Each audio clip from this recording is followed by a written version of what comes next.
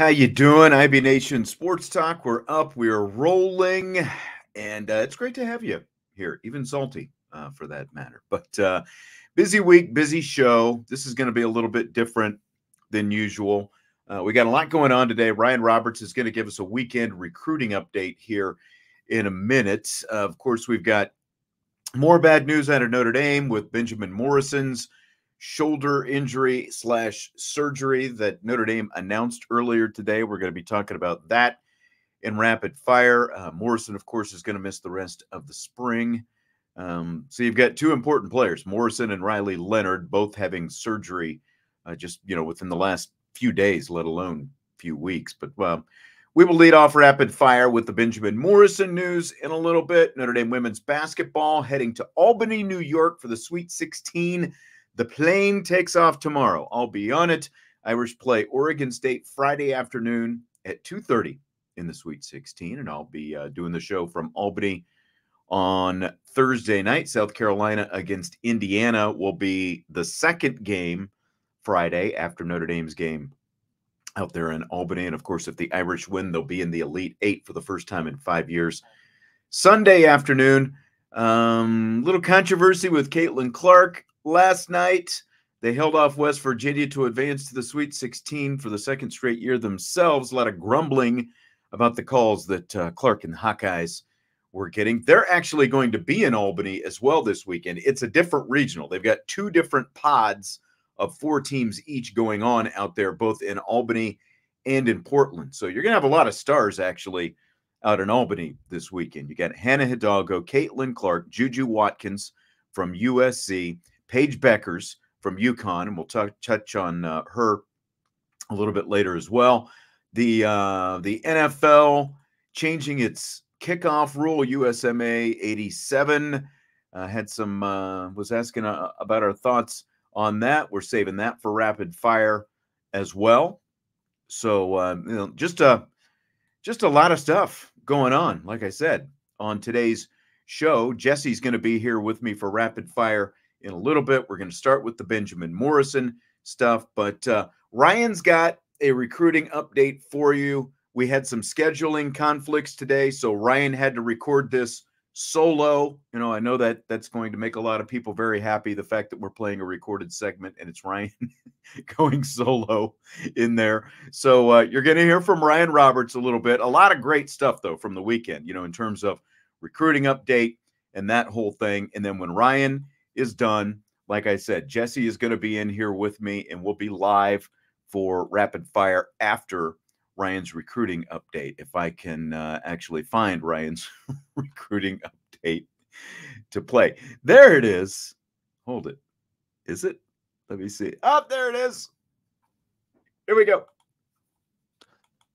IB Nation, Ryan Roberts here, Director of Recruiting at IrishBreakdown.com giving you all a little bit of a recruiting update from this past weekend. As we know, on Saturday, Notre Dame had spring practice, full pads, and also had a long list of talented recruits, both in the 2025 and 2026 recruiting classes that were on campus, on site to check out everything from practice to tour to sit down with coach, with the coaches and it was a tremendous event, as it always is, and has become a very uh, consistent thing under Marcus Freeman to have great unofficial visitors during this time of year during spring practice. And I wanted to bring you all a little bit of just kind of updates on some of the biggest recruits that were on campus this past weekend.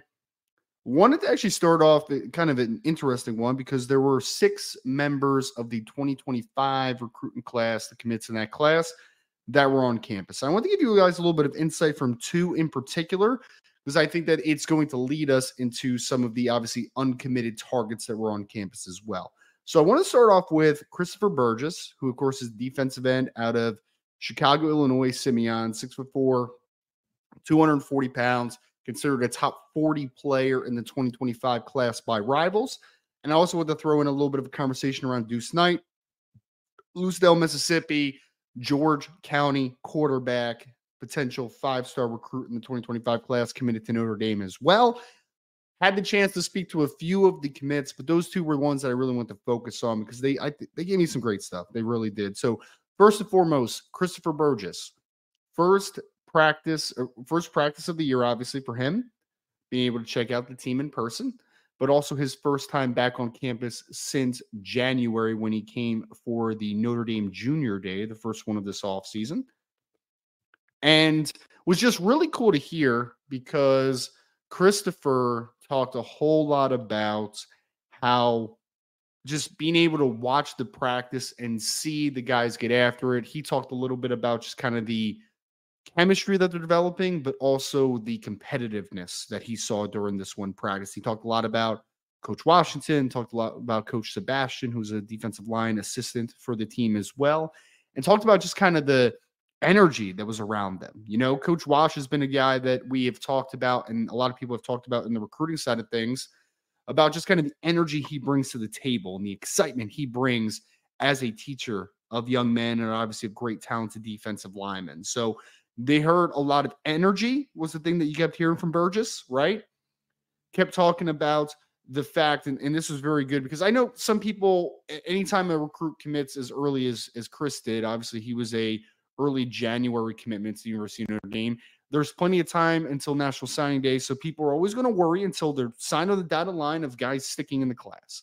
One of my favorite quotes from Chris was he said, paraphrasing slightly, but almost word for word, that being able to see the practice, see the defensive lineman get after it, see the coaches in action, that it made him feel like he was already a part of the program and that he couldn't wait to finally be a part of it. Right. So, very just reassuring statement, obviously, for a young man that is committed to the Notre Dame in the 2025 class. He's a Chicago kid who is also, and at the time, picked Notre Dame over a long list of suitors. I mean, you're talking about Alabama, you're talking about LSU. There's been some Ohio State was obviously a team that was very high on his list, Michigan as well. So you beat him and kept him at home against some of the top programs in all of college football. But just hearing that reassurance every time he comes, it's just always a good thing. It's it's always very positive to see that Christopher just kind of continues to not only come back his second time since committing to Notre Dame at the All American Bowl in early January, but also just kind of reemphasizing how excited he is to be a part of this class and the opportunity he has in front of him. So, which is really cool to hear. And then also, I wanted to kind of give you guys some insight from Deuce Knight because I had a long conversation with Deuce and he gave me a lot of great stuff. A, a couple quick updates up to 213 pounds, which I thought was really cool. I remember talking to Deuce before he committed to Notre Dame, and he was about 196 pounds at that point. So my man is is since because that was the beginning of his junior year, right around. He has put on almost 20 pounds since he's committed to the University of Notre Dame, which is obviously a great sign for physical development moving forward. Apparently, the coaches were joking with him because he had told him, like, hey guys, like, I'm over 210 now. And I, I think he said Gino Guidugli was the one that was kind of like, eh, I don't see that, man. Where's that weight at? Where's that weight? So they actually got him on the scale on the visit, and he was 213 pounds. So a legit 213 weight at Notre Dame this past weekend. I really wanted to talk about Deuce because one person that is still a person he's getting very familiar with is Mike Denbrock. You know, when he committed to University of Notre Dame, Gerad Parker was still the offensive coordinator. He has Gino Guidugli in his back pocket because Tim and Gino have a great, a great relationship. And honestly, I don't think that they land Deuce Knight, especially the timing of which as fast as they did, without Gino Guidugli being as instrumental in that recruitment as he poss- as he was, you know, and throughout and continuing to build that relationship. But Mike Denbrock was obviously not the offense coordinator at the time. And I know that you're talking about a dual threat quarterback from the state of Mississippi. Obviously, him seeing LSU this past year, seeing Jayden Daniels win a national championship as a dual threat style quarterback, I think that's reassuring. Obviously, I think we can kind of deduce that pretty easily. But ultimately, just hearing Deuce talk about it, he one of the favorite things he had said about Mike Denbrock was you meet him and you just think he's going to kind of be a laid back, you know, just kind of really thoughtful coach, you know, for the lack of a better word. But then he coaches and you're like, oh, this guy's intense, man. Like he's getting on people's butts in practice and he is really, you know, getting the energy going and the optimism going, but also being a hard coach. Like he's not an easy coach, obviously. And, and that's something that Deuce really gravitates towards. He doesn't want a guy that's just, rah rah and and you know you're great at everything and there's no faults like he wants to be held accountable. He wants to have kind of that layer to it as well. So having mike denbrock and developing that relationship everything is going great with deuce knight. I think that he is very very solidified in his commitment to the University of Notre Dame, which is obviously great for all parties included in this. Not only does he get a great education, not only does he be, be a part of one of the historic programs of college football, but Notre Dame also has a beacon for their 2025 class and one of the more talented quarterbacks they have had in a long time, potentially coming to campus in 2025. So it was really here cool to hear that reassurance and the energy around the program, but also Deuce, nice enough, was able to give us a little bit of insight into two recruits that I want to talk about now. Kind of talk about uncommitted targets that were on campus. First and foremost, the guy that's most most prevalent to his success is 2025 Las Vegas, Nevada, Bishop Gorman wide receiver Derek Meadows, who had was on his return trip and had not been to Notre Dame since last offseason when he camped and got his offer from Notre Dame. Now, for people that aren't too up to date on that recruitment, for a long time, it was a Notre Dame Washington battle. And then obviously, Washington had the turnover with Kalen DeBoer. And so you're sitting there like Notre Dame's got the inside track here. Like they're they're kind of alone for a second, right? And then he goes down to Battle Miami and camps out there and showcases his talent in front of everyone. And here comes Alabama. Here comes Tennessee. Here comes a lot of really nice offers coming the way of Derek Meadows, University of Florida, like a lot of the SEC schools that are now coming in. And of course, that's going to bring like a moment of hesitation of like, man, like this is going to be a little harder than we once thought it was going to be. I will say this, and then I got a couple cool notes from Deuce on Derek as well. I will put it like this Notre Dame had to weather the storm of all those great offers coming into him, all those high caliber programs. And I think they did to a degree of, I think Notre Dame has a very good chance when the final decision is made from Derek.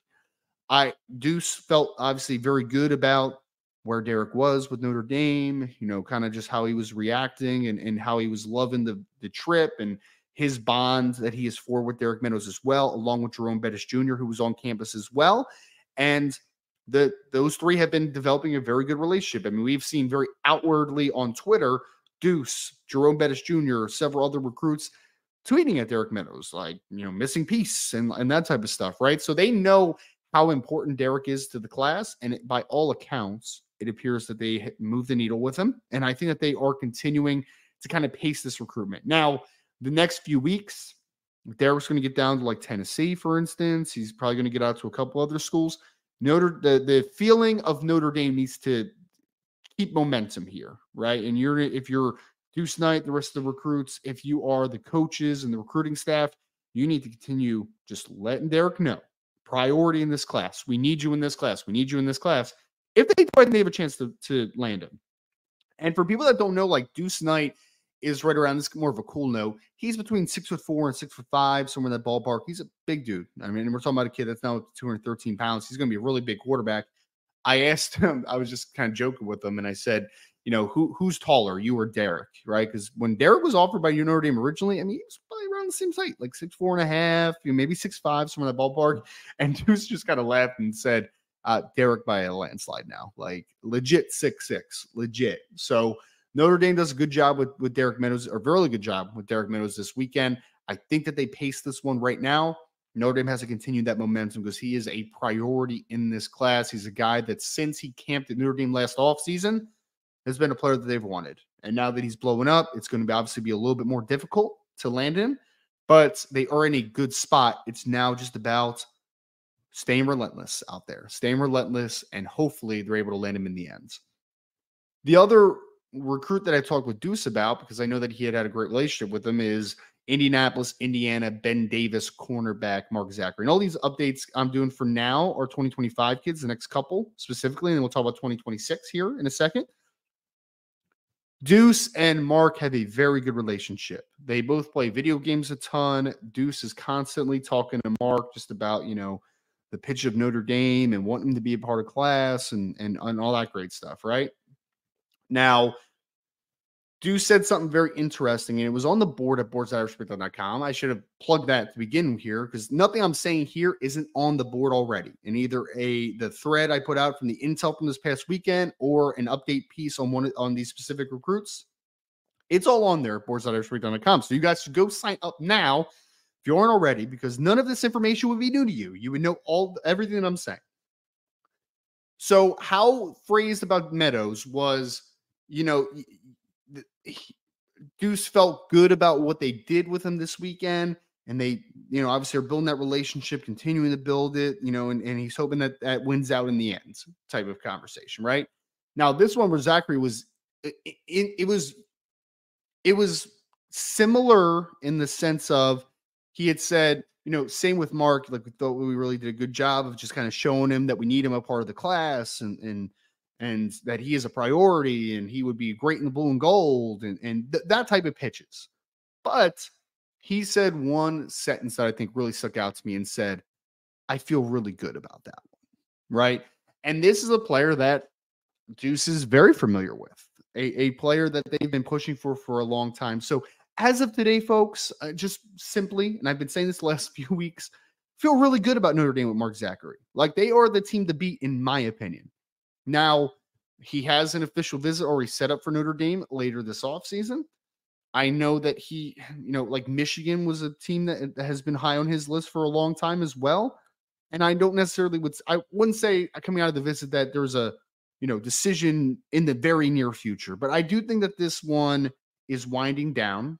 I do think that Mark Zackery is going to make a decision, you know, relatively, you know, over the next couple months, you know, like sometime over the next couple months is kind of what I would say.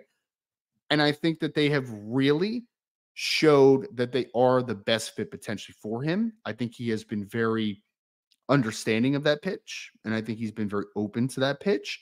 And I believe that Notre Dame is the team to beat for Mark Zackery moving forward. And if it ends anytime soon, or just in general, I think Notre Dame is the team to beat. So move the needle, Mark Zackery. Another person that they moved the needle with, but I don't, know. I wouldn't necessarily say that they moved it at.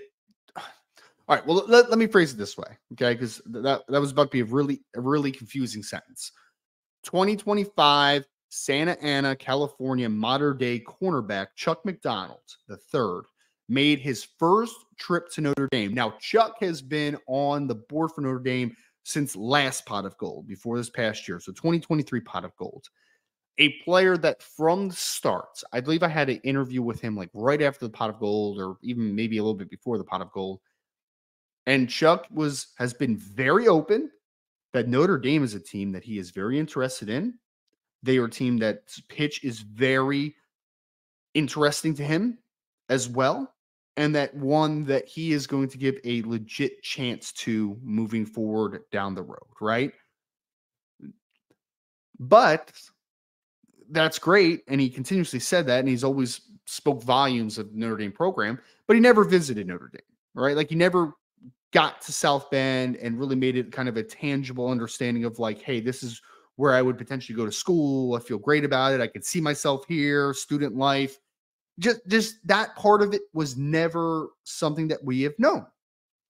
Now, I would phrase it like this: is Chuck McDonald got to, to got to campus this weekend, and again said all the right things. He really likes Mike Mickens.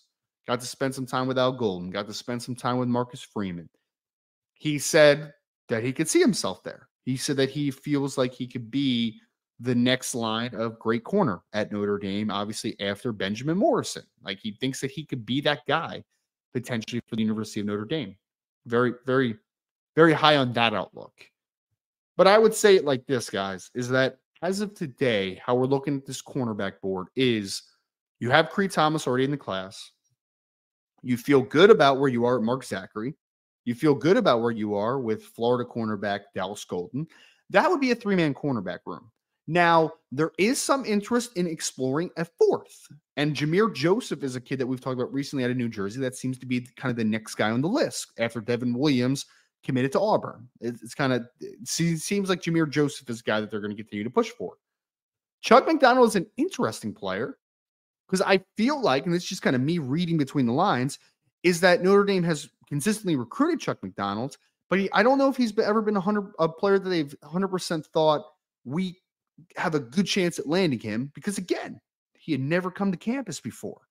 I'm interested to see now moving forward if the viewpoint of Notre Dame, and again, speculation on this part, I'm interested to see if Notre Dame opens up their mind a little bit and says Jameer or Chuck McDonald would be the, the next corner that we want after Mark Zackery and Dallas Golden if you get commitments from both those players.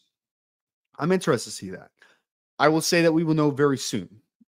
Either way, because Chuck McDonald needs to take an official back to Notre Dame for Notre Dame to have a legitimate chance. If he doesn't, I just think it was a great visit for him, and he's going to end up playing somewhere else and staying more on the West Coast, and that's fine. It's a great player. But if he scheduled an official visit, that means that there was it, it was real for him, right? Like he could really, really see himself. He says a lot of all the great things. Finally, get on campus. If he sets an official visit, then I think there's something to talk about here. Otherwise, just a really good visit. And Notre Dame set their stage, obviously, to to really show him what they can bring to the table. So that's Chuck McDonald, cornerback 2025, Mater Dei state of California.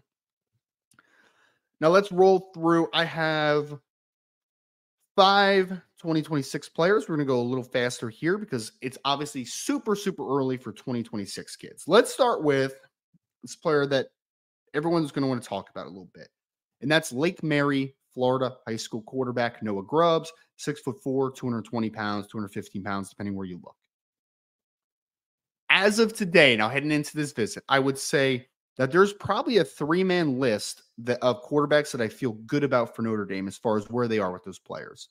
Two of them are from the state of Florida, are actually good friends and train together. One is Noah Grubbs. The other is Brady Hart from Cocoa in the state of Florida, and then Ryder Lyons out of Folsom, California. Now, the two Florida kids, it's a really interesting dynamic because one, I believe today we have kind of again some intel and some conversation believe that Notre Dame would take either of those quarterbacks if any of them wanted to come today. Right? So they're all takes for Notre Dame potentially, it seems.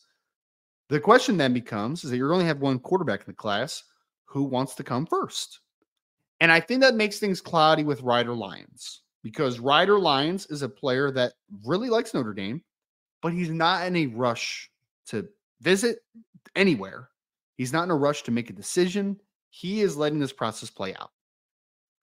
Now, not saying that Ryder Lyons won't end up being the quarterback in the class for Notre Dame. I'm just saying it's less likely, I believe, because I just don't think that he's in as much of, of a a hurry or pace to make a decision sometime this offseason. I don't think it's necessarily something that he is like set on, that he needs to make a decision this offseason. Brady Hart and Noah Grubbs are players that have talked about that. Now, I had Brady Hart for an interview where Brady had said that he would like to commit before his junior year. He wants to be early in the process. He wants to be early to a class and he wants to recruit the heck out of that class. So Brady Hart is on in position that he wants to make a decision before his junior year. Noah Grubbs is in the same boats, but he is also kind of, again, reemphasized that I would like to be early in the class. Once I commit, though, I am committed. So he wants to make sure he has crossed every T and dotted every I. He wants to make sure that there is no stone, unturned because once he's committed, he's committed and that's it. You don't have to worry about decommitment from Noah Grubbs. It's just over with. And with them being close friends, I would say today is that I believe that Brady Hart and Noah Grubbs are the two most likely players to end up with Notre Dame in the 2026 class. Now, that being said, how is that going to end? Because right now, Brady Hart is set to visit Notre Dame April 3rd. I wouldn't necessarily say he's in commit mode if he has a great visit, but you never know when that happens. There is going to be a very interesting dynamic here because they train together, they're friends, and they both potentially have the number one slots in the quarterback class for Notre Dame. Now, Noah Grubbs had a great visit, and he said something. He said outside of his first visit, technically this this offseason was to Central Florida, but that's his backyard, right? It's a very easy trip. His first big visit that he wanted to go to was Notre Dame because he has said in the past that Notre Dame has recruited him the hardest. He got there with the snow. Snow doesn't bother him. He really loves the Notre Dame program. I think Notre Dame is a very clear leader for him, or one of the leaders for him. You know, a couple of the Florida schools obviously are doing a good job as well. But Noah just got an offer from Ohio State. I'm just curious to see when Noah decides that he wants to make this commitment because he's being pursued by some big time programs. There's no doubt about it, right? So I think this class, as of today, if I had to make a prediction, I would say Noah Grubbs, Brady Hart are the two most lucky quarterbacks in class. I think Noah Grubbs had a great visit to Notre Dame. I think that they are going to be very hard to beat in the end, potentially for him if he does make a decision sometime soon. But does Brady Hart want to pull the trigger quicker? That's the question. And that's what I'm left leaving this visit with is to see who wants to be in this class first because I think that the spot will go to whoever wants to pull that trigger before the other. Two IMG Academy defensive backs I want to talk about real quick. One is safety, and both 2026 players, by the way. Both is safety. One is safety Zech Fort, Zechariah Fort. The other one is Kasani Giles, and I, I apologize for pronouncing Kasani wrong. It's K S A N I, so it might be Sani. Maybe K is, is silent. I'm not 100% sure on that. But Mr. Giles and Mr. Fort both visited this past weekend as well. Actually, I'm sorry. Giles Actually, know. Yep, they both they both visited this past weekend. My apologies. I was getting my uh, timeline off a little bit here. So Zach Forts, this one's interesting because he has been a player that people have known about since his freshman year at IMG Academy. He was the first IMG Academy player freshman ever to be main, named a team captain. So he was that guy early on for IMG. And as you can imagine, a lot of big time programs coming after him, man. Ohio State, all the SEC schools, like everyone is coming after Zach Forts. But this was his first visit to Notre Dame. And I was pleasantly surprised with how high he was speaking of Notre Dame. Like he, high academic kid, he had said to me that one big thing that he wants in a school is he wants a school that can get the best out of him on every side of the coin, not just as a football player, as a student. He wants the full package here, which obviously plays very well into Notre Dame's hands. Not only are you playing high level football, not only are you a historical program, but you have high academics and you have obviously the four for 40 and and the and the all everything that comes with being a graduate from the University of Notre Dame, that network which really plays into their favor. So I think they moved the needle with Zach Forts. I actually think that Notre Dame has put themselves in a pretty good early position there. Now you have to fight against the big boys if you want Fort in the end. But I think that they really did a great job, as they did with Kasani Giles, who Giles is a player that has a little bit of versatility on the back end. He can play all over the place. They were actually selling this to him. Like, you don't have to just be the Benjamin Morrison. You don't have to just be the Xavier Watts, the next in that line. You can be both. They love his versatility on the back end, Mr. Giles. And he really liked that pitch. And he has spoken about that the staff said, but the net, the rest is up to you though. Like you could be that guy, but it's only about the work that you put in and the relentlessness that you bring to the table. And he said, I know I have that ability. I know I have it. So it was really refreshing to hear. It was really cool that Giles just kind of sees the blueprint in front of him, but understands that there needs to be work to put in to fulfill that blueprint ultimately. I think Notre Dame did a good job with both IMG kids. And uh, both players, first time visiting campus, which was big time. Getting them so quickly after the pot of gold offer, I think was very, very good for Notre Dame. A great sign. Now it's about continuing to build that momentum, continue to build it now moving forward. Two more guys, then we'll get out of here. Elbert Hill, who's a cornerback out of the state of Ohio, Archbishop Hoban. He is a player that was actually offered by Notre Dame last July, right? So, so before his sophomore year, it was after his freshman year, before his sophomore year. They've been on him for a long time. Now, the minute you hear an Ohio kid who Ohio State wants, your mind goes, that's going to be a tough sledding. But I would say this is that Mike Mickens and Marcus Freeman have been spearheading this one with Albert Hill for some time now. And obviously, they're both Ohio guys, both went to the same high school. And also, Marcus Freeman coached at Ohio State. And, and so they had the Ohio ties in their advantage, and they got on Elbert Hill very, very early. So this was another continuation of Elbert Hills does nothing but speak volumes of Notre Dame. In the end, this feels like, and there's a lot of time. We're talking about kids that just finished up their sophomore year, but this is a young man, Elbert Hill, who I think this is looks like it's going to be a Notre Dame Ohio State battle in the end. Does the in-state Buckeyes win, or did Notre Dame put in enough enough big work early to be able to close on him? Regardless, big time player who Notre Dame really impressed this past weekend. And the last one I want to talk about is Jarius Rogers, who is a pass rusher out of the state of Florida, list, from Fleming Island, by the way, listed at six foot uh, six foot five, six six depending where you look, 190 pounds, 200 pounds, somewhere in that ballpark.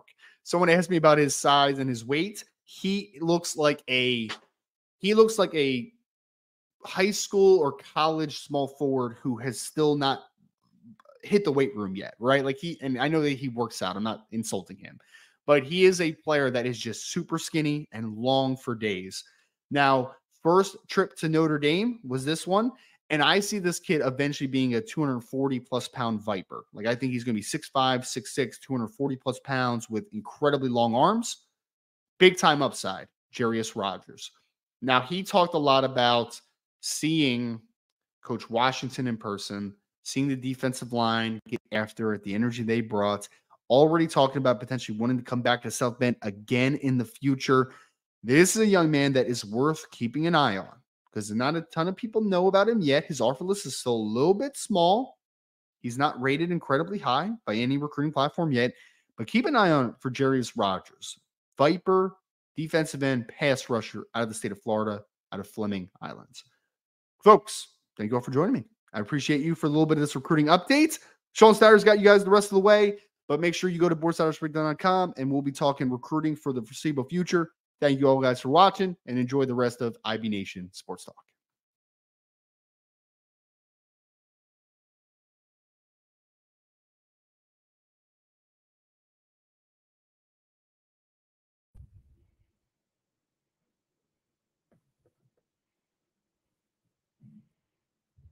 This is always what happens when I have the pre-recorded segments. I never remember to unmute myself. Jesse, are you ready for rapid fire? I am ready for seeing, rapid I was just seeing if everyone was paying attention. That's what it was. You know, that's that's all it was. All right, so Jess, the big news of the day, fill in the blank. Notre Dame announcing today that Irish cornerback Benjamin Morrison will miss the rest of the spring with shoulder surgery, but is expected back for the 2024 season is blank. It is worrisome. And the reason why it's worrisome is you have lost some of your more talented players in terms of spring ball at the quarterback position and now the cornerback position. And the reason why I say Benjamin Morrison is worrisome is it's a shoulder, and shoulders always seem to be nagging or lingering. And anytime he goes up to make a play or comes down awkwardly now, there is a chance that his shoulder is is just continuously going to bother him. And so I just don't like this in, in terms of the fact that this could, you know, potentially be a reoccurring injury for as long as Benjamin Morrison plays football. And I, I don't want it to be that, but that's why I, I again I say it's worrisome. Is is it's an injury that doesn't go away. Yeah, I mean, this is going to be a little touch and go because we don't know the specifics. All they said was this is arthroscopic surgery, and that can mean like a million different things, you know, because did they just go in and clean up a little debris or something like that in there, or is it a full blown labrum tear, which is, you know, the worst case scenario, labrum or, or rotator cuff? For a cornerback, I don't think you would expect it would be rotator cuff, but a labrum tear, which is essentially what Cam Hart had multiple times, and I've torn both of my labrums. It is the, you know, it's like the band that holds your shoulder together. And, you know, they, they, both of them were operated on via the arthroscopic procedure. It basically means they, they make little incisions in your shoulder. There's multiple incisions there. They go in through one incision with the scope so they can look around and see what's in there. And then they go in the other incisions with the you know the the actual tools that they do the procedure with and you know if they have to re- repair the labrum or whatever. And again we don't know exactly what it is but there are 4 months until the start of the season. And if it's a if it is a labrum tear that's a very 4 months is a very short amount of time to recover and get ready to go out there and play again because they do the procedure. You stay in the immobilizer sling where you can't move your arm for several weeks and then once they finally take the immobilizer off, you're doing, you start off with very small movements, you know, getting movement back so you don't have the frozen shoulder and all that kind of stuff. And you can't raise your arm up over your head for even more weeks after that. And then you're finally building it back up. And then you throw football into the mix for a football player, you know? So again, it's a big if. We don't know that that's what it is, but if that is what it is, you know, they said he'll be back for the 2024 season. They didn't say he'd be back for the start of the 2024 season. They just said he would be back for the 2024 season. That means he'll be back at some point. So, you know, like, of, of course, they're going to put out a tweet that's not going into details with best and worst case scenarios. And so there's there's a lot that's that's you know TBD in this. You know, so it's it's not great news. Like you can, you know, you can try to paint the picture uh, best case scenario right now, but we don't know exactly what this is going to look like. So there's there's a lot of uncertainty out there. And when you throw this in with the fact that you've got your quarterback, you basically got one of your two best players on the defensive side of the ball, arguably the most important on the defensive side of the ball, based on what he's done for the last two years, leading the nation in interceptions over the last two years. And then you've got your your quarterback on the offensive side of the ball. Those are two very significant injuries and it slash surgeries in a very short amount of time. On a preliminary level, what is more impactful in your opinion? Riley Leonard's injury or Benjamin Morrison's injury? You know, we were talking, and we'll talk a little bit more about the quarterbacks here in a minute. We're going to hear some comments from from Marcus Freeman specifically about Angeli and Kenny Minchey. But the Texas A&M game aside, the next three games after that are pretty favorable. I think you know, in terms of if you have to go with an inexperienced quarterback, you're going to get home games. You're going to get a couple MAC opponents with Purdue sandwiched in between. The Texas A&M, like just Texas A&M, the team itself, because it's a rebuilding situation for Mike Elko going in. It's the atmosphere, I think, similar to Ohio State that I would right. worry about the most with a guy like Angeli going into that.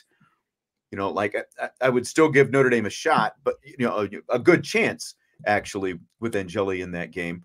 But not having Benjamin Morrison, I mean, he's literally an All American candidate. He's an All American caliber cornerback and a first round draft pick type cornerback. So that's very significant, I think. I, I might nudge that, you know, again, just for the start of the season, I would I would nudge that, I think, up ahead of of Riley Leonard because of of where they are. I mean, now there's good players behind him. You got Christian Gray and Jaden Mickey over on the other side, and maybe Christian Gray comes over to the boundary and you know kind of fills in there.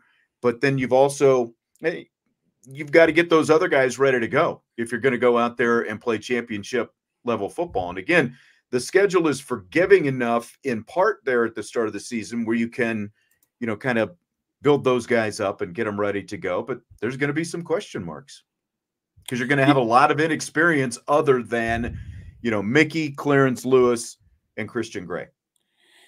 I will say, you know, I don't know which side I lean. I, I think right now Benjamin Morrison injury would be more impactful, but you know, if you're if you're Chance Tucker or Jaden Mickey or Christian Gray, I mean, now's your opportunity, right? Like this is a tremendous chance for Notre Dame to build depth at the cornerback position, whether or not Benjamin Morrison comes back or not. Best case, he comes back everything's fine. But now you have incredible depth and guys that challenged each other all spring and got more reps because Benjamin Morrison is sidelined. Worst case, Benjamin Morrison can't play the first few games, maybe misses half a season. And now you got guys who are prepared, young, and talented, ready to step up behind them. And so it, I know it sucks, but either way, I think it's it's good to, that Notre Dame is going to build depth behind Benjamin Morrison during this springtime now. And I mean, you know, again, you don't want it to happen, period. But if it's going to happen, this is still obviously the better time for it to, it's much better for it to happen now than in training camp. But again, not knowing the full extent of, of what the injury is, you know, so even if it is a labrum tear, at least it's happening early in spring and early in spring practice so you can begin to get some of those young guys ready to go. You're you're absolutely right. It's like this is this is the better time so you can work on developing some of those guys. Salty said earlier, buy or sell, early returns on the strength and conditioning program. Riley Leonard and Benjamin Morrison both injured. Well, strength and conditioning has nothing to do with if you know if, if you're going to have a stress fracture in your foot, you know, from a lingering Leonard injury that started off in your ankle. Yeah, and if you if you injure your shoulder, you know, again, like you come down on your shoulder, whatever the injury happens to be, there's nothing strength and conditioning can do to to help that as well. And injuries and injury. Injuries are going to happen, and it's not all on the strength program. And I did see that that uh, you know Salty may have been trying to troll us with that anyway, and, and you know just get you know kind of a uh, a hot take discussion going. But I'm going no, no. I'm not pinning anything on strength and conditioning when you've got the specific kind of injuries that you've got right there. It's it's more along the lines of you know hamstrings and you know pulls and things like that. That's when it's a little bit more of a concern. But but even then, you know, a lot of it is still specific to the player. You know, it's like you've got certain guys who are a little bit tighter than others, and you just have to kind of. I have strong bones. Strong bones, dense bones, strong, dense ligaments, bones. I'm knocking on wood right now, but dem bones. Not like All my right. mother. She's breaking everything. when your father's starting to break down as well, uh, like I have issues going on. I hurt my back last week. No, wasn't it? You hurt your back a couple of weeks ago. Yeah, it's the. Is yours it better happens. now? It yeah. is. I hope you weren't laughing at me, or it's karma for you. Oh man, I hurt mine last week, and I've already got I've got herniated discs both in my neck and back, and so I tweaked it last week.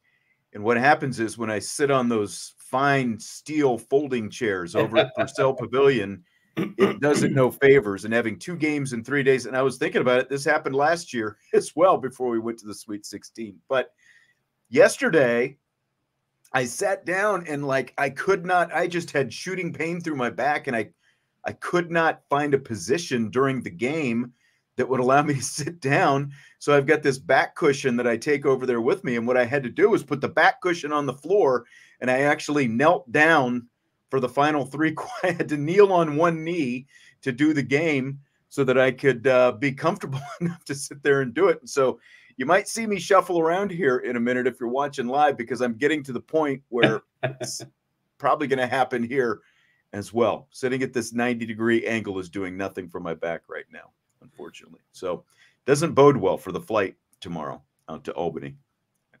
I need to take some sedative, I think, and put myself out. I was just getting ready to say, I don't know if you can.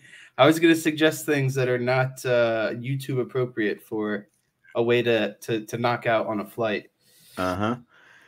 Okay, so after the news of Riley Leonard's foot surgery, Bryan Driscoll asked Fighting Irish head coach Marcus Freeman if the quarterback competition is going to evolve Kenny Minchey and CJ Carr. And here is the response. Well, I think Driscoll that you you every day you you evaluate and say, hey, is there a way to put some pressure on all of them? I don't want anybody getting comfortable. Steve, you know, I don't want Steve to go here. I'm the one, and and I'm not worried about Kenny and, and CJ. He shouldn't be worried about him. He should be worried about Steve. But at the same point, I don't want him comfortable. You don't want anybody comfortable in the position in. You want uh, that that that that competition, that adversity to to really get those guys to thrive. So, um, no, this is just for today.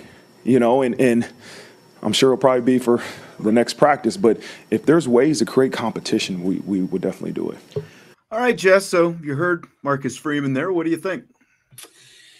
So this is the good old argument that we kind of had, you know, when a few weeks ago. Is there a real quarterback competition for Riley Leonard against the rest of the field? And what we talked about is that you create competition every day, even if there is not, you know, some sort of quote unquote competition for QB1, you still have guys pushing each other every day to be the best version of themselves. And really, that's kind of what Marcus Freeman you know, was talking about. I don't think he wanted to commit to, you know, it's a competition between these guys and these guys, and he definitely didn't want to commit, you know, because that basically says that Riley Leonard is is hurt for a prolonged amount of time, right? So like by giving one answer, you're kind of giving yourself up to another answer. And so I thought Marcus Freeman handled it kind of how he does all of his other responses, very politically. Um, and and again, you're not going to commit to saying, yes, these guys are in, in a competition. But what you're going to say is, well, Steve is competing with himself every day. Steve and, and, everyone in the room is pushing themselves to be better. So yeah. whether or not you believe there's, you know, a true competition battle or not, I do believe that spots two through three and potentially, you know, one through three, if something happens to Riley Leonard, are fully up for grabs. You know, either any of those three guys could be one through three what's going to happen naturally is with Riley Leonard out, the others are all going to get more reps as a result. And as every practice goes on and as every rep goes on, they've got film on these guys. They're watching them live. They're going back. They're breaking down film. You're going to start to see more of Kenny Minchey, and you're also going to get to start to see more of CJ Carr. And what do you have to do when you've got guys in a position group? Ultimately, you have to compare them to each Right. other, right? And if if especially in a new offense. yeah, and if the guys who weren't getting as many opportunities when Riley Leonard was out there are all of a sudden making plays and making plays at you know the same ability or better as the other guys who they're around, they're going to catch your eye, and it's called meritocracy. And if the you know if if if uh, the C team guy is suddenly performing better than the B team guy because the C team guy is getting more reps and the A team guy's not out there, then he's he's at least theoretically got a chance to move up the food chain right? Like that's that's just what happens when you get more opportunities. That you get more opportunities in a situation like this and all you can do is make the most of your opportunities. And i just think that you know natural selection you're like it you you've got opportunity now and so you can say that it's not necessarily a competition but every day is a competition, just like Marcus Freeman there said. They want to build more competition every chance they get, if possible, right? Yeah, I mean, every practice is an open competition period, and the whole goal is to get better because, I mean, if your third string quarterback gets better, it's just pushing everyone else above him better. And that goes for every other position on the depth chart. Competition every day is what makes a team tougher and what ultimately is going to make a team better at the end of the day because the ones aren't going to play every play. There's going to be times where a two has to play, or maybe a two starts, and now the three has to, you know, provide relief to the two because one is out. Like all of those guys are going to have to contribute at some point. And so if they can compete every day and get better, it's only going to be better for Notre Dame's team in the long run. I'm chuckling because of this comment from DK. That's why I start my mornings telling my coworkers they're trash. I am competing against you today. You're here to lose to me. and you suck. This is what your life is about. You're losing to me today. You are garbage. And Tommy says two through three question mark. And I think what you're referring to is and Angeli Minchey and CJ Carr when you're saying two through three. Yeah, I meant to probably say two through four, but um, you know, another I get another part of this that I feel like you have to to bring up is um oh man, sorry, my train of thought just lost me. It's okay. Um, You've got my back on your mind. I know you're concerned about me now. I am very concerned about you right. and your back. I can see you leaning forward now, so I'm like, I know. I did starting to- shift, by the way. I don't, you know, I didn't go down a whole lot going from the uh the chair to the floor, but I am I am in the kneeling position. Oh, I know what I was going to say. You know, everyone has talked about Notre Dame's quarterback development. That's such a hot topic, right? And so if you have someone like Riley Leonard out and you have two young guys, and the complaint is, oh, we got to go to the portal, or are we actually going to develop Minchey, Carr, etc. I think this is a great time to do that. Like you get more time to develop some of these younger quarterbacks. So of course, Minchey and Carr are going to be a part of the competition because they're working in to develop just like everyone else in the room, right? And so I, I just think it- it's similar to Benjamin Morrison. Like you don't want guys to get hurt, but it allows an opportunity for for the backups to get better. So when so when the starter does reserve Yeah. or return, you have more depth. And if they got to miss more time, you feel comfortable about them stepping in to play. Yeah, exactly. Everyone's just going to get more reps now. And again, because they're getting more reps, you're going to compare them to the other guys. And maybe that that that begins to affect the depth chart down the road. You, you never want to see anyone get injured, but all this is going to do is give other guys an opportunity to show what they can do now. And for a guy like Kenny Minchey, this is for Kenny Minchey and Angeli both. This is really a prove it kind of spring to kind of begin to make a move and see exactly what they can do. For CJ Carr, it's still about development, but CJ Carr is also going to get more reps as well. And I was just where did it go? Someone was saying that the that the blue gold game should basically be just um oh here it is, Josh and Jelly and Minchey taking the majority of snaps. I mean, I think that it will be, but at the same time, you're going to have an opportunity to get more CJ Carr in there if there's no Steve Angeli. And as we were talking about yesterday, like Marcus Freeman said when he announced that Riley Leonard is going to be out for at least a few weeks that he could come back this spring, I would be in zero rush. And in fact, I would want zero part of Riley Leonard returning to action this spring because of the fact that this is all part of the same lower leg, you know, like from the ankle and into the foot now with a stress fracture in the foot. I would want no part of Riley Leonard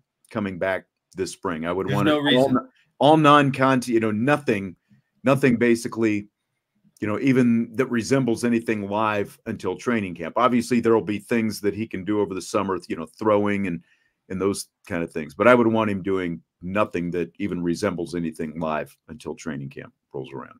And even then, like Vince said, put him in bubble wrap. you know. Fred says, I think Notre Dame has to be serious that one of the three can be the starter and not assume anything about Riley Leonard. That's a very good point as well. Like, you know, and again, these guys are all going to, to have a shot to kind of prove that they can be the starter. It begins in the spring. It won't end in the spring, but it begins in the spring. And it's a very good opportunity, again, for these guys to show themselves. And what's going to happen is they're going to put themselves on display in the blue gold game. And then someone's probably going to have a pretty good game. Someone's going to have a mediocre game, and everyone's going to Oh, man. overreact to the guy who has the pretty good game and say that that should be the starter. Uh, yeah, there's going to be a lot Riley of that should be the segment after the blue gold game overreaction Monday Yes. and let everyone get their overreaction. That's exactly what's going to happen. like, do we even need to go through the rest of the spring to, to get to that point right now? We know that's going to happen. Right. David, I need to get back to you. David sent this to me in a, a nice message on LinkedIn when I Was David the I- guy who sent you the, the thing about the the, the and pelvis alignment after my back was tweaked.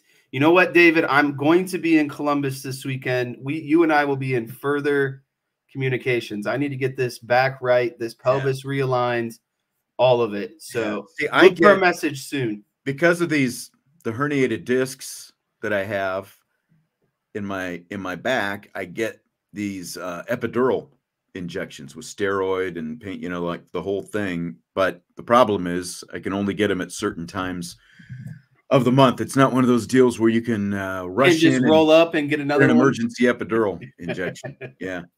Unless someone in town's watching and you got my number and you want to, you know, give me one tomorrow morning or even tonight, like I'd roll in tonight. Get that. That plane's going to be tough. You you you need to get uh you need to get as horizontal as you can tomorrow. Well, and that's that's the thing is, is there there's no horizontal on those stupid planes. So Tommy says icy option? hot. Icy hot is hot garbage, is what that is. Icy hot's you know like pseudo for the muscles. This is like deep down in the nerve, basically, all the way down in my back. It's just, it's just not fun. Someone was, uh, you know, like, "Hey, you want some ibuprofen?" This was yesterday at the game, and I'm like, literally, literally my body just chews up and spits out ibuprofen and acetaminophen like it's candy. Man, I got to have the hard stuff. Unfortunately, even that, I took some of the hard stuff last night when I got back because I've got like some, like some, you know, like pain medicine that I kind of. It, it's it's basically my, you know, break glass if necessary medicine if it gets to this and. I took more than I usually do, and it still was doing nothing. The pain was just was just punching right back at it. So it was I actually decent for a while today, and then the more I just takes sit- one twinge and then you're you're right back to I the know. beginning. I know, I love the chat. Everyone's going through all the different stuff that they like. I know. CBD. I've got some recommendation recommendations of Scotch. Carberry says uh, try some gummies. Voltaren. I don't know what Voltaren is or how I get a hold of it, but is that like is that like animal painkiller or what exactly? That's that horse trinkle. I know. Horse drinks.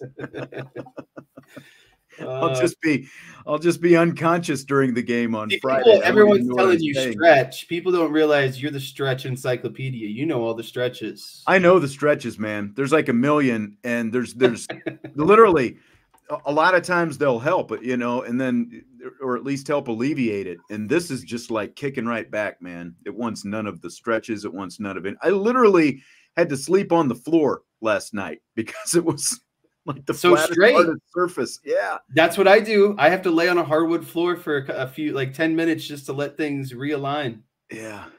All right. Well, We better move on. Let's move on. Let's move. Nobody want nobody nobody cares about the labor pains. They just want to see the baby. You know, that's that's what it's all no about. No one cares that you did a game yesterday and did the Irish breakdown show. They just That's want right. the results. Kneeling, kneeling. so here's Marcus Freeman on new offensive coordinator Mike Denbrock's offensive philosophy, talking about using less 12 and 13 personnel and uh, getting in a little bit more 11 potentially. Yeah, most of it has been 11 um, in the spring. Just be, number one is because the injuries to Mitch, um, you know, and Kevin Bauman, and, and even uh, Eli. We are we're, we're holding him right in certain areas of practice. We're not just saying his load is 100 percent, right? We're we're we're, we're man- monitoring his load, and so that's why we've been majored in 11 um, for the spring. You know, the the conversations I have with Coach Denbrock is again, we are going to ultimately put the best guys on the field. If we get into fall camp and we feel like our two tight ends give us a better chance to succeed than having three wideouts, then we'll put two tight ends on the field, I'm sure, um, which I've seen him do at Cincinnati when we were down there. So the thing I love about it, it's not about as much this is our scheme, who fits it. His mindset is okay, who are the best 11, right, or the best 22, and how do we tailor the offense around those guys? And the concepts will stay the same. What we do will, will really stay the same. It's just who is it? Is it a tight end or is it a wideout? All right. So what do you think there, Jess? I'm kind of eating this up. I don't know about you. What do you think? Yeah, I'm eating this up and wondering where this Marcus Freeman was last season. Did was it was it his non-trust and an inexperienced offensive coordinator and his kind of you know, we talked about this last year. What was the recipe or the formula? How much input did Marcus Freeman have on the offense? How much did he, you know, input and say, "Hey, I want to go heavy. I want to run the ball here. I want two tight ends. I want three tight ends." It felt like Notre Dame was forcing its personnel on its scheme rather than kind of, you know, or sorry, forcing its scheme on personnel and not letting allowing its personnel to, to kind of dictate the offense. And so I love hearing this because this is last season. I, I just I was asking for it so much of why are we not utilizing our best players and designing plays around our best players? And again, I don't know if that's Marcus Freeman's distrust, inexperience, whatever it might be. And now you have Mike Denbrock, a guy who knows a little bit more. He's been around the block a few more times. And so it sounds like Marcus Freeman is saying, hey, I trust your evaluation of what we have and what you need to do to the offense to tailor and make us mo- you know, most successful. And so it's really refreshing to hear, but it's also frustrating because I wanted that approach last season. Yeah, and I mean, I have been now. Granted, you're still going to there. There are going to be some instances where they need to use 12, they need to use 13, maybe even some 21. Even though we we saw 21 kind of dissipate over the course of the season, we saw it sprinkled in a handful full of times, uh, you know, now and then. But I've I've kind of always been more along the lines of the Sean McVay Rams approach. You know, they they have always, you know, again, now it's not that they're always in 11, but they are in 11 probably at least 80% of the time. And you just change formations and move guys around in that and, same and you personnel show a package. lot of same motions and movements and I you know what I mean? You Right. keep showing one thing, one thing, and now you show a wrinkle off of it. You know, Right. that's kind of the Exactly. Sean McVay offense. Exactly. And, uh, You know, and again, there there are still going to be times where you're going to bring in a second tight end. There might be times though, as Marcus Freeman was says said, you even take off a tight end. You know, like how much 10 personnel did we see from Oklahoma State in the second half of that Fiesta Bowl a couple years ago, if you remember that, you know. So it's like I I I just I think it's great, you know, but it also goes to as Marcus Freeman says, what is the strength? You know, what what personnel is your strength? And because of the numbers, like he was talking about with what they have at tight end this spring, tight end is definitely not a strength. Strength, you know, tight end has obviously been more of a strength over the last several years at Notre Dame. Wide receiver has been more of a question mark. So I guess maybe it's made more sense, you know, to get more tight ends on the field, especially when you have a Michael Mayer and you know and guys like Mitchell Evans and Eli Raridon, you know, as as supplementary guys around him. Wide receiver should be more of a strength though this year. So looking forward to the chance that maybe we do see more 11 personnel. Yeah, and I like this too because it aligns with Denbrock's overall philosophy. He's a less of a 13, 12 personnel, more of an 11, 10 personnel type. And you know, you can still have elite tight ends and run 10, 11 personnel essentially. Well, probably not 10, but 11 personnel. You you can definitely still accomplish things because you know, look at Georgia's offense with Brock Bowers. I know he's not an elite, you know, or maybe not considered to be one of the better um, pass blocking or run blocking, you know, tight ends out there. And a lot of people might say he's just kind of a hybrid of a tight end and a wide receiver, but still, you can come up with concepts that get out of the 11 and 10 personnel that you can still utilize your tight ends, right? Yeah. Like you can still have talented tight ends on the field and allow them to be game changers as well. I just really like this most importantly because I think it's going to allow Notre Dame's athletes specifically the wide receivers, to be to do more in open space. Absolutely. And it goes along more with Denbrock's overall offense. So I think it's yeah. just really good that that's naturally how it's drifting.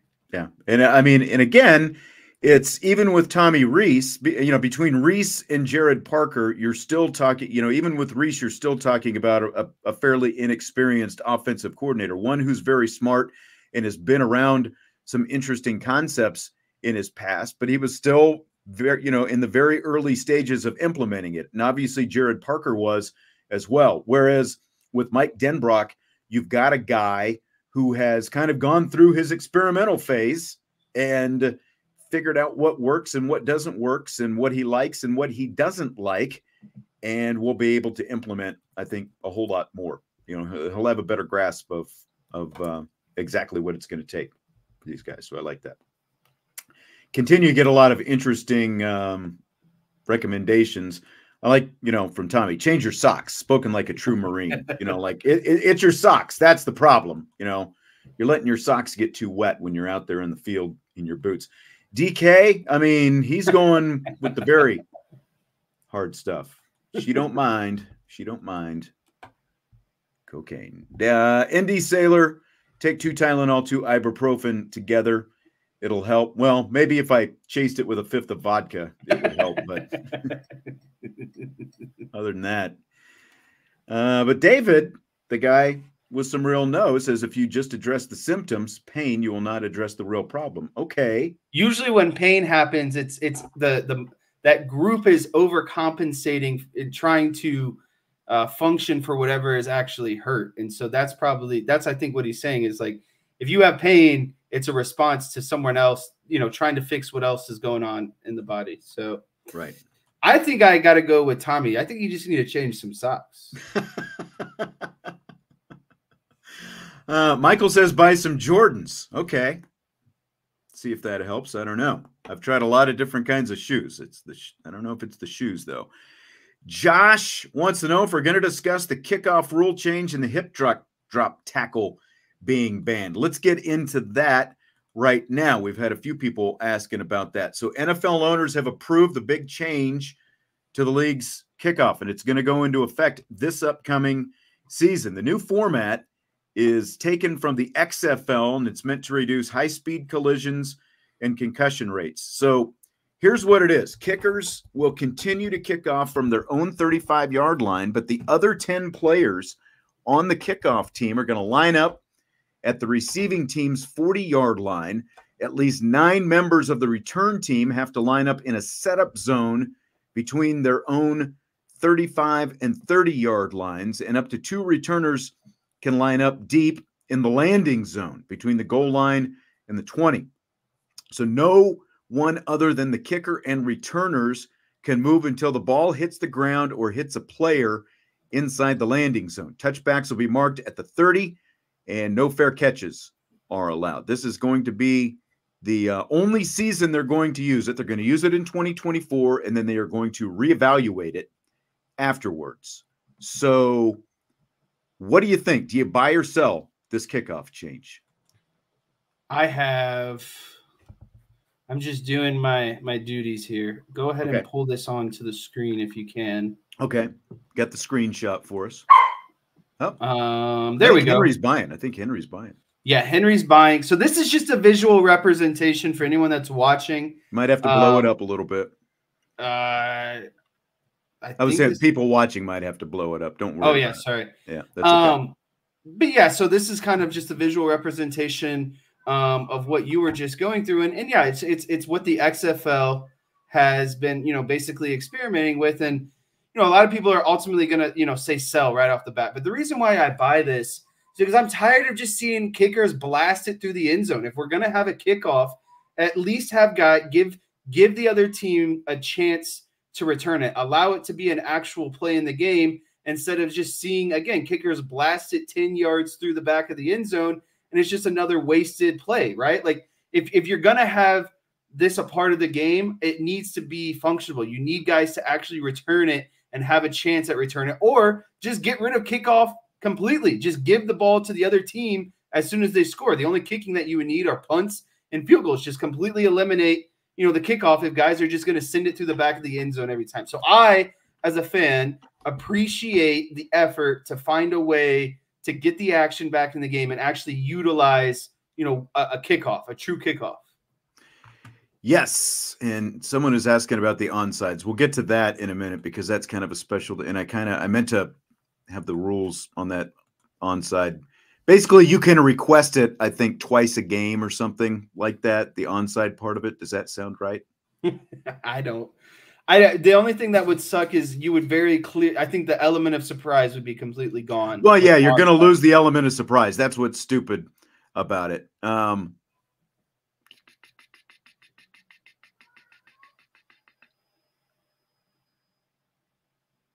I'm looking at all this different data, and I know that there was something in there about you. You can't. You can basically you can request an onside kick, basically, but like you said, you're going to completely lose the surprise. When I first heard of this, I was like, "Are you kidding? You know what are they doing? They're really going to to do this?" They're. I, I do like it. I do like the fact that they're not just going to say, this is what the rule is going to be. We're going to do it forever. They're going to try it for a year and they're they're either going to tweak it or get rid of it and go back to the old thing. I still haven't seen a ton of data that says like there like I watch a lot of football, both NFL and college. Do guys, you know, get get hurt on kickoffs and kickoff returns? Of course. But they also get hurt on a lot of other plays that have nothing to do with kickoffs. It is an impact game. And I I guess I appreciate the fact that because of all the modern science and technology and everything else, you do have guys who are bigger, faster, and stronger than ever before. And they are trucking each other at like 20 to 25 plus miles an hour. You know, and they're trying to reduce concussions. They're trying to reduce serious injuries that they say are occurring on these plays. So, and and just kind of watching how the XFL did it I mean, you're basically talking about a, a, you know a couple of stationary lines. The guy receives the kick, and then he runs through it. So I don't have a major issue.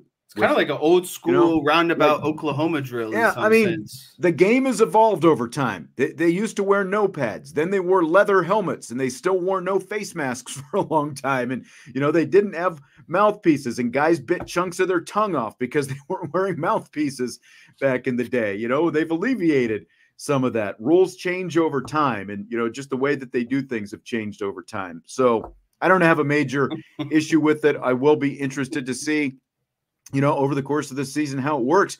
Do you think that if it it works in the NFL, it's eventually coming to college football as well? 100%. The brain is even less developed at that age. And so if there is going to be success at the NFL level, they are definitely going to implement it at the college level for safety. DK on it as always. He says people get injured sitting in chairs doing podcasts. That's, I mean, come on. Are they going to change the rules of podcasts? That's what I want to know. Are they going to change the rules of broadcasts? That's what I want to know. Oh, Carberry is going back to the they make millions. They know what the risk is. Yeah, but I mean, you know, they put in targeting rules. I mean, again, the rules change over time. Well, and it's just because it they're making a, millions doesn't mean you want to get your head bashed in and have a concussion and, and die at 58 because you've got CTE, right? I it mean, would just be a disservice as as we continue to ad- advance as a as a as a society, you know, technologically, uh, laboratory studies, etc. It'd be a disservice to the NFL to gain all this information and not apply it and try to implement as much player safety as possible. You know, a lot of people are saying, oh, it's just going to end up being flag football at some point.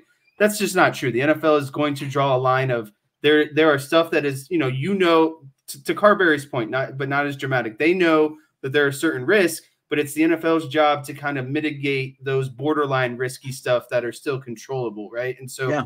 as we continue to get smarter, I still believe there are certain things on the table for the NFL to continue to amend, but there are certain things that are untouchable. It is always going to be a tackle sport. Well, look, we were talking with Bryce Young, the Notre Dame freshman freshman defensive lineman, a few weeks ago when we got to talk to the early enrollees over there at Notre Dame. The guy didn't start playing football until like eighth or ninth grade. He and he's the son of an NFL Hall of Famer, and the reason was because you know his dad didn't want him taking all these hits to the head, basically. You know, so like guys who have played the game, they know. You know, they're they're educated about this stuff. So, you know, just because they're making millions of dollars doesn't mean that that um, there's not a high amount of risk that they're putting their bodies at by being out there on the field. I think that this can still be an entertaining play just because they're changing the rules of the kickoff. I don't, you know, I don't, I don't think that it that that that takes away some of the excitement of it. They're just trying to take out the impact, you know, the high impact of it and try to reduce concussions. So I think that's the biggest thing.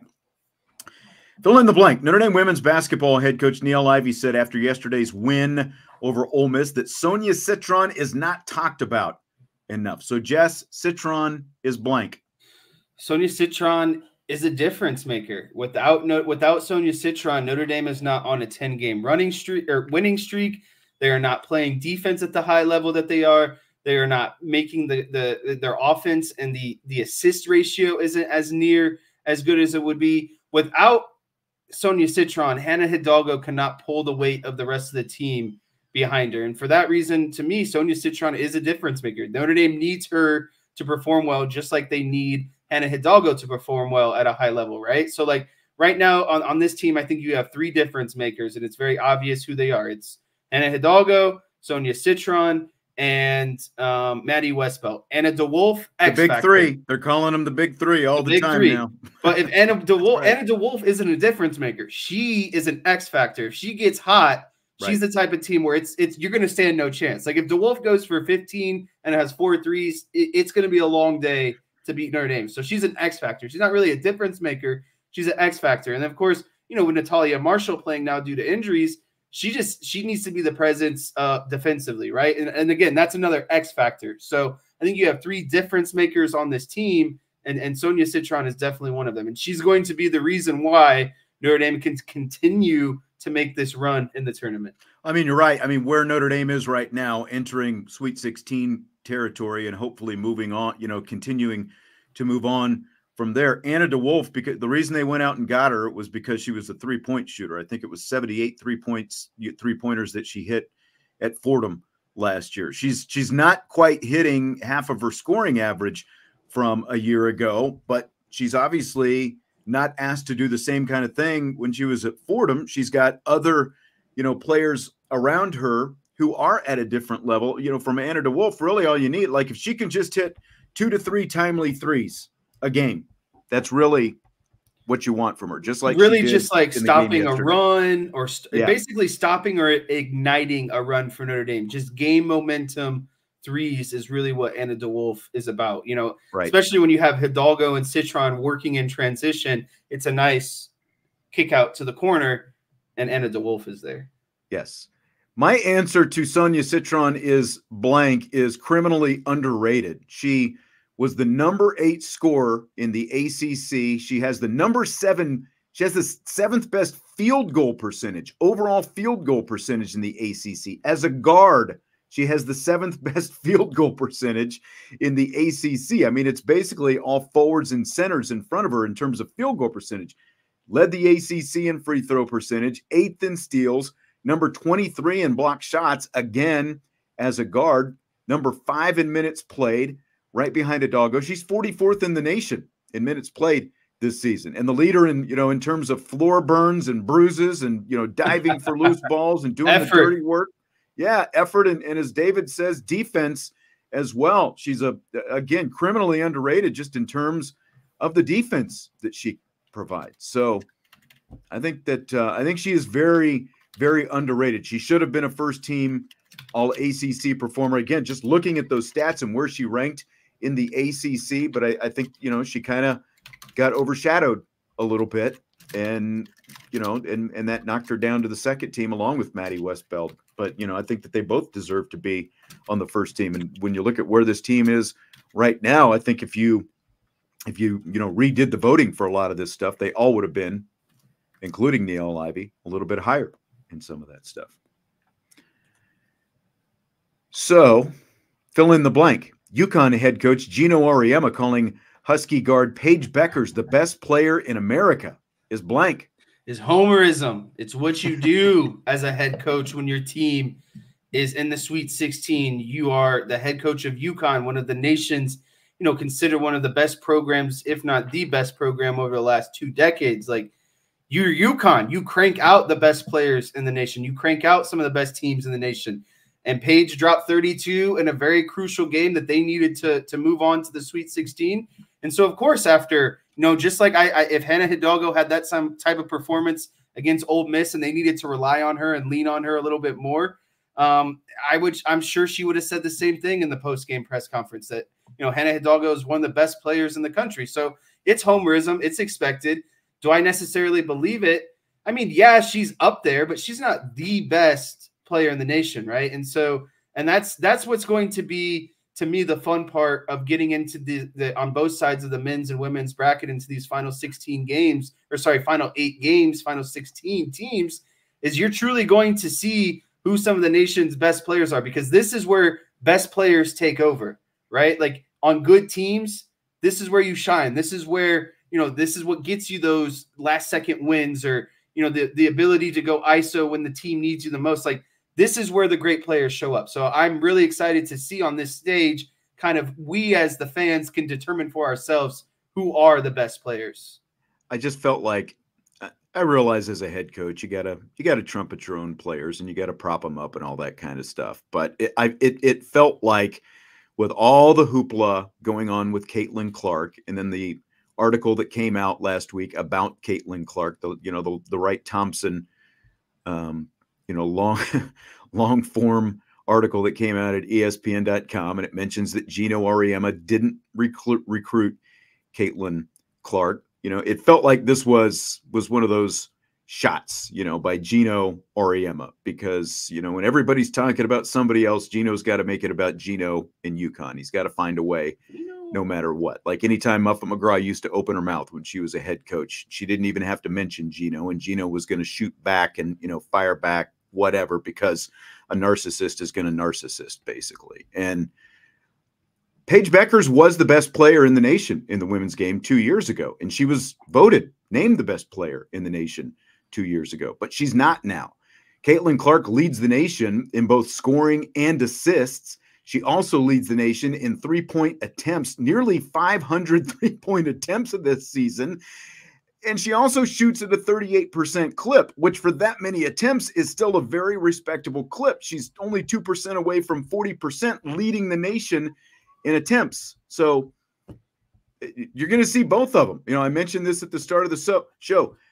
UConn and Paige Bueckers are going to be in Albany, New York this weekend. Caitlin Clark is going to be in that same region. Angel Reese and Hailey Van Lith are also in that same region with those teams. And Juju Watkins and USC are also in that same region. You've got two regions that are going to be out there. So all those players are on one side. And then you've got Hannah Hidalgo, Sonia Citron, Maddie Westbeld, and Notre Dame, along with with uh, Kamilla Cardoso and you know Dawn Staley squad in, in South Carolina over there. There's you know there's a few more stars on the other side, but you're I mean there's a lot of talent that's going to be out there in Albany between those the Albany one and Albany two regions this weekend. Um, but you know, again, to answer the question, Paige Bueckers is a great player, but she's not the best player in the game right now. It's Caitlin Clark, and there's not an argument. What about the men's bracket, Jess? Do you have a uh, a men's team that lost during the first weekend of March Madness that wrecked your bracket the most?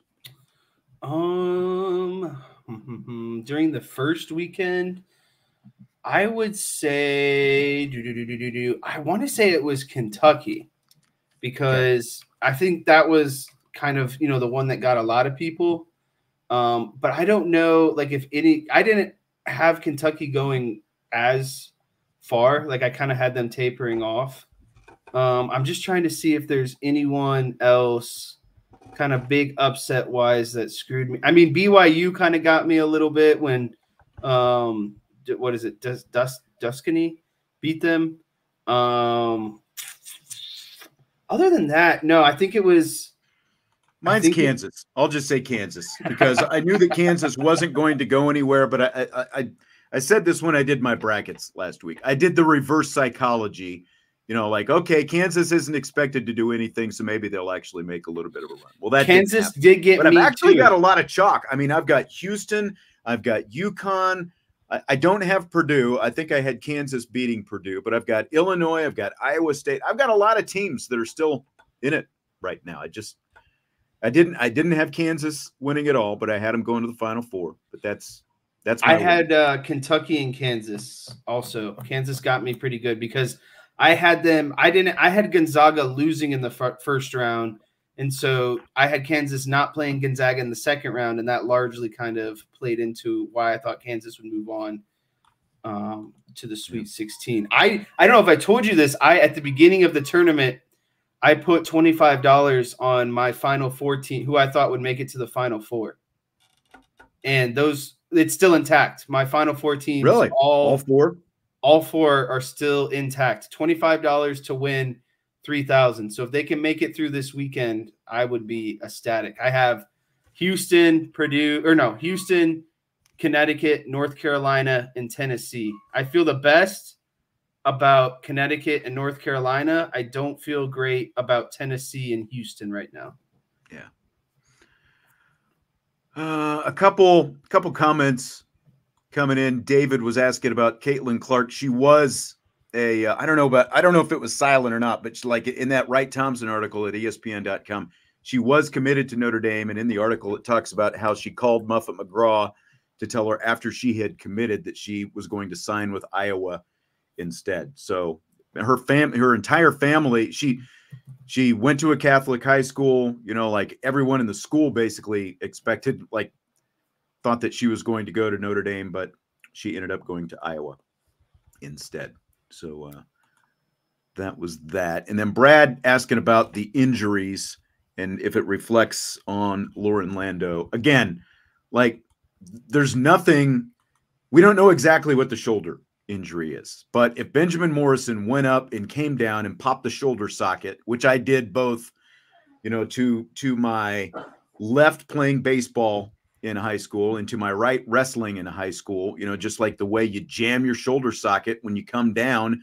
And that's you know, that's what, you know, causes that separation. And then what happens with the separation the the the bone in your shoulder, you know, in that shoulder joint comes out and it lacerates the labrum you know, and then from there, you you know, you have whatever degree of tear, and that's that's how you know the both the pain inside, you know, that that labrum slash socket and and whatever else. So my point is, there's nothing Loren Landow could have done about, or any other strength coach could do about something like that. You know, you're playing football. If you come down, you pop it, and it comes out of socket.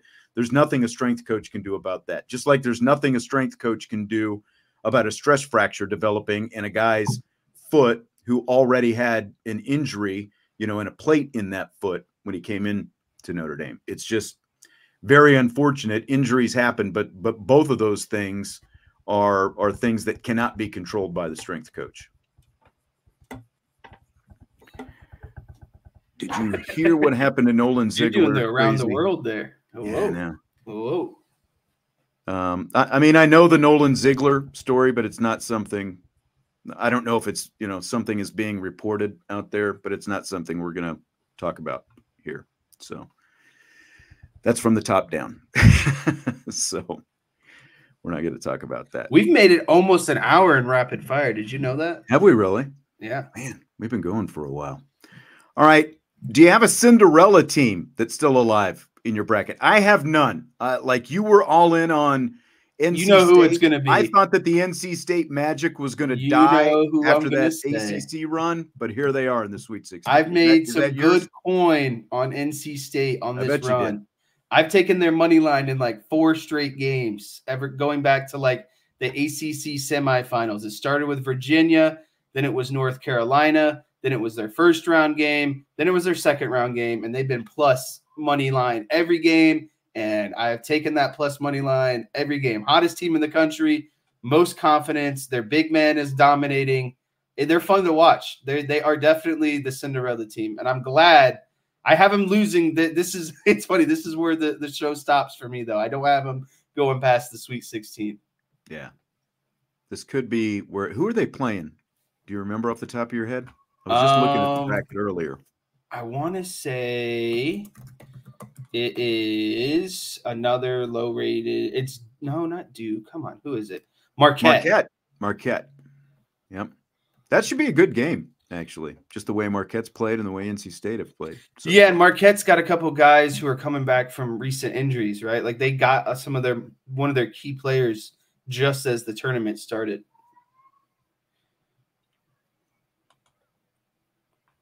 Um, I don't know what what Ziegler did at Central Michigan, but there was nothing that he did here at Notre Dame that that would I would term him a bad influence. So I have no idea what happened up at Central Michigan, but I don't think we need to. He's gone. He's moved on. So there's there's really no reason to to kind of beat on that at all. Well, I think that's going to do it. You know, like I said, I don't have any Cinderellas. Unfortunately, like I thought I might have had one kind of hanging around. I was saying last week, my uh, my um, my bracket is very chalky, and I actually I forgot. Did you do a women's bracket in our bracket challenge? Yes, I sure did. I had mine all set up, and then I forgot I forgot to make my picks in the women's. I was looking, I was like, how do I have zero points? I forgot to go through and, and make my picks. I started and then I got distracted and went and did something else. And then I came back and I'm like, are you kidding me? I didn't make any picks. did I tell so, you that I, I, I placed a, a little wager on the women's team to win it all? Did you? How much? That was so I did I did a bet on each side, the men's side and the women's side. I told you about the final four bet that I did. The only reason I did it is because I had a boost, and so you know me, like I try to get the most value out of the boost, right? And so I boosted Notre Dame women's to win the national championship, and twenty five dollars wins two thousand. So both of those are still alive. I have my final four on the men's side, and clearly the women's um, are still together. I just really like the women's right now because of the way they're playing defense. Like it's incredible. And, and, and especially in the tournament, I've been telling you for a while, play good defense, defense, baby. Yep. And to have the offensive firepower still at the other end, all yep. they got to worry about is these these refs. They need to get the whip the, the whistles out of their mouth and let these teams play. I think that, that's, that's, that's a little concerning. Thing. That's what I was saying that last night. I'm I'm pretty disappointed in the type of fouls these officials are calling in the NCAA tournament. With the stakes as high as they are right now, you got to get away from these garbage little ticky tack fouls. There's too much of it all the way around. Like it, you're doing nobody any favors, and you're not helping anyone who's actually tuning in to watch the games and wants to see, you know, wants to be entertained, basically watching the games. You're not helping anything. I uh, I know this. I don't want to get too drug out here, but this is the last comment I have, and I know not, not a lot of people care about the NBA, and that's fine. But ever since the All Star break, Adam Silver made I best I, I guess told referees, hey, Stop calling the game so tight. We don't want to see all these fouls. It's what the women need to do in the tournament. Just you know, let the players play. We're here yeah. to see, like I we, we were talking about Juju Watkins, Caitlin Clark, Hannah Hidalgo, you know, Paige Bueckers. All these great players are going to be in the arena. That's what we want to see. We want to see the players play. We don't want to see the referees taking over the show. Concur. Concur, Jess. Let's end it on that. All right, so I'm going to be traveling to Albany tomorrow. I'll be in Albany on Thursday, though, and uh, I'll have my end of the show from there. Looking forward to that. And then, of course, we've got a basketball game on Friday. It's looking like no rapid fire show on Friday this week because we've got a 2:30 game, and um, Vince is already off, and you know, just everything. You know, so with all the scheduling and stuff like that, most likely Good Friday not, as well. Come on. Not, Oh, that's right. I forgot. That's it's your mom reminded me that that Sunday is Easter, and that's like yes, totally off my radar with with all the basketball and everything else going on right now. Yes. So this Friday is Good Friday. We can all reflect and be grateful together. We are.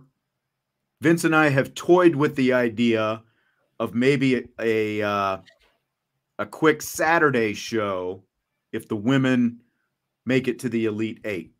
Like if An emergency show. on Friday, we might do a Saturday show if people are interested. So um, maybe I'll put a poll up on the Champions Lounge and see who would be interested in a Saturday show.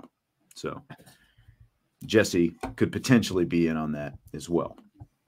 You're welcome, Father David. I know my holidays that I am off work and paid. All right, well, that's going to do it for today. We appreciate you as always. Hit that like button and uh, don't just subscribe, but if you're, you know, on your podcast platforms, whether it's Spotify or Apple, playing the podcasts is very important. these Just, days. you know, a- a lot of changed their downloads. Offices have speakers and everything. Just connect the podcast to your Bluetooth speaker at work. That's all you got to do. Let it play on replay, repeat, and the whole office will love you for dropping knowledge on the office. That's right. That's right. See how much knowledge we got? The way to do it. All right. Thanks as always. We will talk to you later on IB Nation Sports Talk.